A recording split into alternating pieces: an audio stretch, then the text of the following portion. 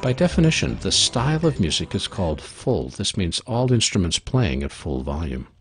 But by clicking on the first segment and going over to the Properties menu, we take advantage of mood mapping. These are all the different instruments. Think of them as you have control over the mix of the music. So, if, for instance, I wanted to play this and I didn't want any drums, you could grab the drum slider and slide it all the way to the bottom. No drums. Well, this level of customization is neat, but sometimes tricky, so to solve the problem instead, SmartSound has gone through and done a whole bunch of premixes for you. I want to have a light feeling. Well, here, better than I can describe it.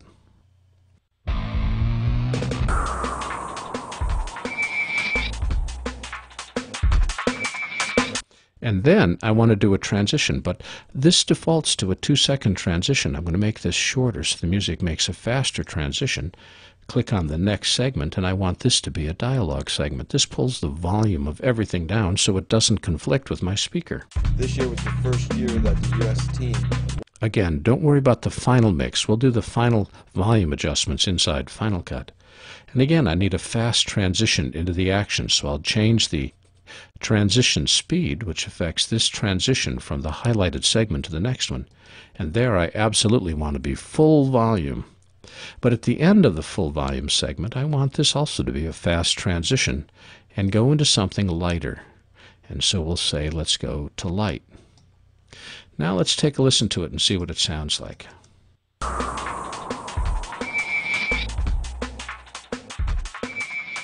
This year was the first year that the U.S. team.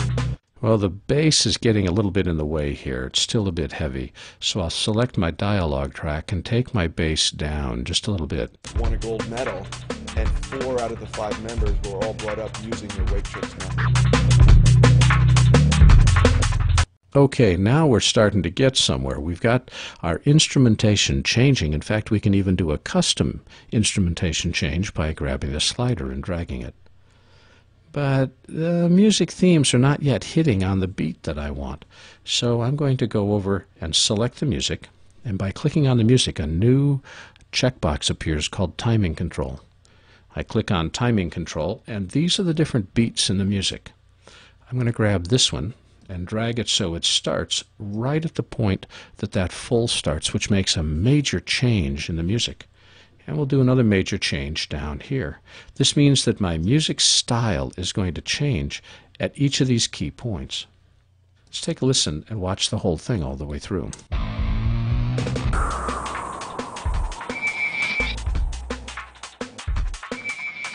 This year was the first year that the U.S. team won a gold medal, and four out of the five members were all brought up using the Waitrix method.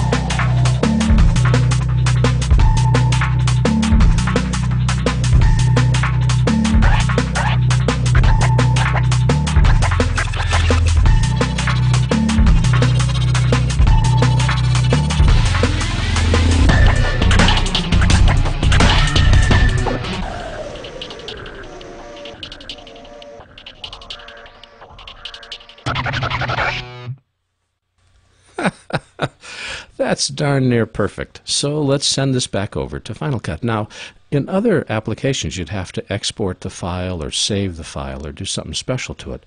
But this is very cool. Watch this. We go up to the File menu and we go down to Send to Final Cut Pro. Well, it already knows what project and what sequence you want to use. So all it does now is saves your new piece of music. We switch back to Final Cut the music has been added already into the browser. We then grab the music, drag it down to the timeline, and let's watch what happens.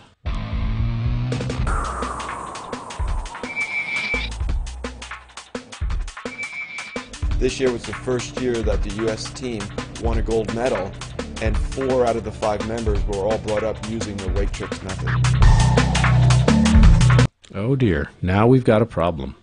This full music is so loud, look what it's done to our VU meters. That's a shade hot. In fact, that's too hot. In fact, that would get us all fired, and that would be a bad thing.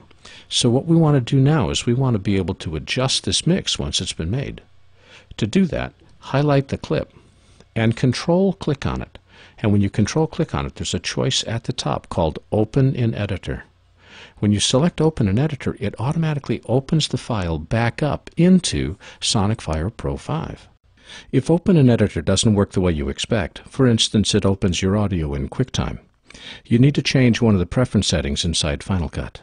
To do that, go up to Final Cut Pro, go down to System Settings, click on External Editors, and make sure that Audio Files is set to open SonicFire Pro. To do this, click the Set button, click on the Applications folder, scroll down until you get to SonicFire Pro 5 and open that folder, and select the SonicFire Pro 5 application. Then click the OK button at the bottom. Whenever you take an audio file and select Open in Editor, it will automatically open inside SonicFire Pro 5. And let's take advantage of one more feature, and that is click the Envelope button. This is just like envelopes, the red rubber bands inside Final Cut or the envelopes inside Soundtrack Pro. We're going to set a keyframe. Double click directly on it, double click to set a second keyframe, and let's just drag this down a bit. Now I'll add some keyframes at the end.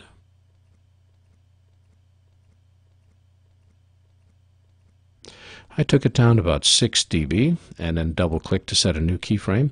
You need to double click and then let go of your mouse and then grab the keyframe and drag it so that now when I play it, using the method. the volume and the, and the sound change, but it doesn't get to be quite so loud. So let's go back to Final Cut. Again, all we have to do is to send it to Final Cut Pro. It automatically saves the file. I switch back to Final Cut the file itself is updated instantly. I don't have to import it. I don't have to do anything. Now when I play it, Members were all brought up using the Waitrix method.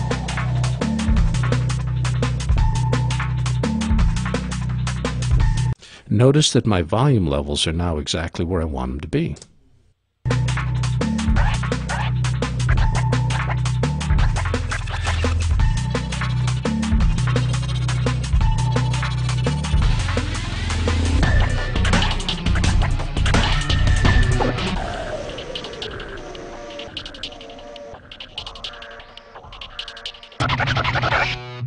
Very cool. If I move too quickly in some of these techniques, we have lots of tutorials on the Smart Sound site that you can follow to learn more about how to do what I just illustrated.